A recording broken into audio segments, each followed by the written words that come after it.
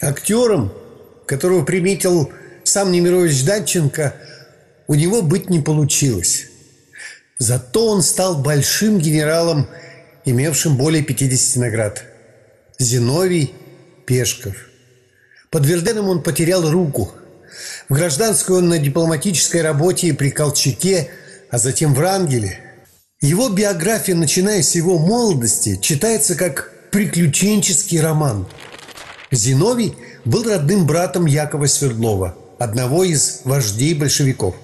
Правда, знать друг друга они не желали, слишком разошлись их политические позиции. А фамилия Пешков – это фамилия крестного его отца, Максима Горького.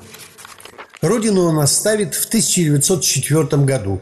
В 1921 он будет собирать гуманитарную помощь для РСФСР, а потом воевать в Африке в рядах иностранного легиона. После поражения Франции в 1940 году Зиновий будет жить в Лондоне, станет другом Шарля де Голля, будет на дипломатической работе в Японии и Китае. Что же особенно нам интересно?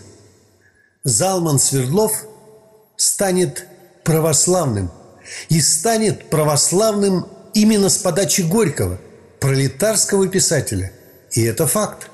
Факт и то, что по завещанию он попросит похоронить его на русском кладбище и положить в гроб православную икону и портрет Максима Горького. Его похоронят по православному обычаю на Сен-Женевьев-де-Буа под Парижем в 1966 году. Французского православного генерала.